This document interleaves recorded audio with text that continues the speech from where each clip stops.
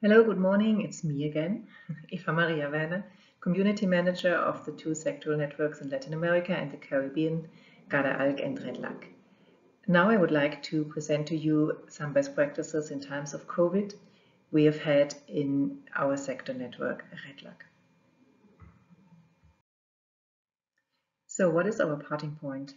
Latin America is one of the regions with the greatest disparity, vulnerability, conflict and potential for violence problems that have increased due to the pandemic.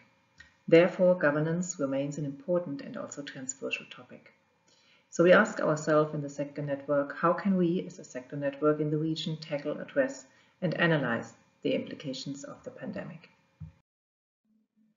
Our main focus was therefore to listen to what different stakeholders from state, civil society and private sector have to say, what their experiences are and to discuss the impact of the pandemic showcase best practices, and above all, to listen to their needs and concerns. So we have listed some examples of webinars and events that have been organized in this context, from how to tackle augmenting disequality with regard to access to education for children of migrants by the closing of schools to COVID-19, mechanisms of transparency and social control in the framework of the pandemic, to good financial governance in the face of COVID-19, into assuring public access to fiscal information and involvement of civil society. To collect best practices, not only but also with regard to the pandemic, a digital platform was developed where not only our projects but also partner institutions can submit their best practices and experiences.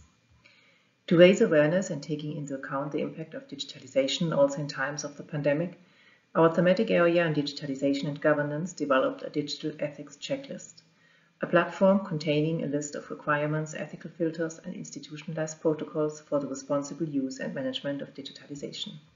So what is next? We in our sector network will keep on working on the topic of the impact of the pandemic in the region with a webinar and podcast on lessons learned in the context of COVID-19 with regard to the topic of sustainable cities and territories, among others. For further information, please have a look at our MS Teams channel, either site and the DMS, and we invite you to subscribe to our REDLAC newsletter. So now we would like to show you a short video on our results of REDLAC in 2021. I promise this will be the last you're seeing of me for today and I wish you a Merry Christmas and a Happy New Year.